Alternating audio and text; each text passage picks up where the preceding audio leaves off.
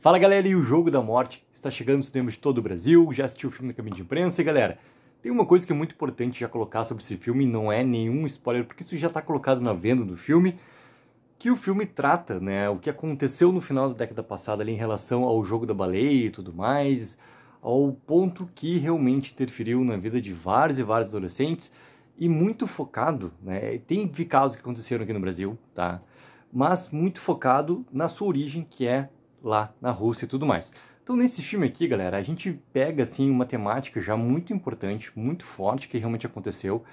Só que essa parte toda é, de real importância social, de aviso em relação ao que, que pode acontecer, né, ao, a proposta toda colocada no jogo da baleia, ao que, que realmente tinha de implicações para quem pegava e encarava os desafios, até chegar na última parte lá, que obviamente não irei falar aqui, porque em relação ao filme, obviamente que já caracteriza alguns spoilers, mas são coisas extremamente sérias, extremamente graves, assim. Só que o filme não consegue em nenhum momento trazer essa grande importância real de uma preocupação que a gente tem que ter daí não até em relação à vida real, tá? Daí falando em relação ao filme e ao roteiro do filme. Cara, ele não consegue trazer nenhum tipo de importância real onde o espectador vai se preocupar com aqueles personagens ali. Cara, o filme tem quase uma hora e quarenta e olha, foi difícil vencer esse filme. Foi difícil, foi difícil. Ele tem uma temática, assim, de como que ele está sendo montado nessa história, muito parecido com, com o, o, Buscando, com o Desaparecido também, ou seja, o filme é contado através das telas, tá? Tem uma coisa ali um pouquinho diferente que eles tentam fazer, que eles tentam emular em relação a provocar algumas lives e tudo mais, para sempre tu tá, querendo ou não, tendo a história contada pelas telas, mas em outros ambientes, não preso sempre à mesma tela do que está acontecendo ali, para tentar também ganhar um ritmo do que está acontecendo. Só que, ao mesmo ponto que eles tentam fazer isso, tá, para trazer assim uma maior diversidade, a história está sendo contada, em nenhum momento tem, cara, um, algo narrativo que vai te preocupar com aqueles personagens que estão colocados ali, nem com o protagonista, nem com, com o antagonista, as surpresas, quando elas acontecem no roteiro ali, elas são bem óbvias, tu vai sacar o que acontece lá no final, muito antes de entrar no terceiro ato. Tu já vai sacar. Porque fica muito claro, fica muito evidente, assim. E como tu tem um fiapo de roteiro ali, cara, esse fiapo de roteiro parece estar tá sendo montado até por alguém que está muito iniciando no, né, nesse mundo inteiro do cinema, de produção e tudo mais.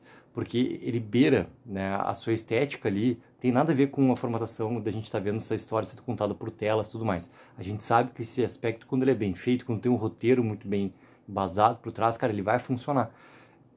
Como tu não tem um roteiro já bom para contar essa história aqui, não adianta tu ter as telas e tudo isso fica muito solto, fica muito perdido, entendeu? Parece algo muito amador, assim. E isso é algo que daí não chega no principal que esse filme tem que chegar, que é o quê? Cara, provocar o suspense e desse suspense provocar realmente algumas sequências onde vão beirar o terror. Por exemplo, aí, cara, é voando muito longe, tá?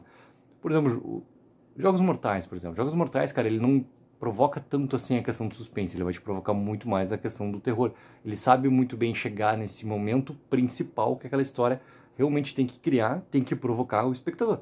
É isso. O jogo da morte, em nenhum momento, ele consegue chegar a nenhuma das duas coisas ali. E ele tem até boas intenções, tá? Ele tem ali elementos para tentar fazer com que isso aconteça. Só que como ele é uma... Repetindo, cara, ele é um fiapo de roteiro, ele não sabe o que, que ele quer realmente falar, e ele está trazendo algumas situações ali, simplesmente com até momentos de passagens de tempo que por mais que pela primeira vez que tu assiste, assim, parece algo, pô, tá bem pensado, só que daí tu vê isso repetidas, repetidas, repetidas vezes no filme. Daí tu entende o quê? Tá simplesmente tentando passar o tempo porque tu não sabe como chegar lá em contando essa história. Então simplesmente tu passa no tempo. Né? As horas, digamos assim, os dias, as semanas, o que for, entendeu? Tu simplesmente faz essa passagem de tempo acontecer sem uma maneira de realmente contar a história para que realmente tu sinta esse peso para os personagens de tudo que está acontecendo ali. Então ele é uma grande bagunça, basicamente, esse jogo da morte, que foi muito difícil vencer esse filme. E olha que ele tinha, né, por exemplo, ele tem ali uma grande questão que a família principal da história do que leva o filme e que tem muita importância até na conclusão de tudo que acontece nesse filme, tá? Onde o final do filme tenta trazer de novo esse aspecto social, que eu comecei a falar aqui na crítica, que não tem importância nenhuma, porque não sabe ser desenvolvido nunca nesse filme, para ter uma grande importância no final, que é basicamente isso aqui.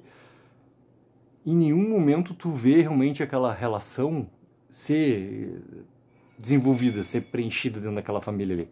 tu tem graves consequências colocadas desde o primeiro ato do filme, e quase que a primeira cena do filme, ela basicamente serve para te tentar criar uma ligação com os personagens, onde já pula para uma segunda sequência e tu começa a ficar perdido, daí tu vai tendo né, as telas acontecendo e tu já entende que passou. Cara, é uma bagunça por completo, ou seja, é uma grande é, ideia de trazer esse tema muito forte, por exemplo, isso não é nenhum tipo de spoiler, tá? Porque está colocado na do filme também. Ele parte do princípio já ali nos primeiros minutos do filme, de trazer dois casos que realmente aconteceram lá na Rússia.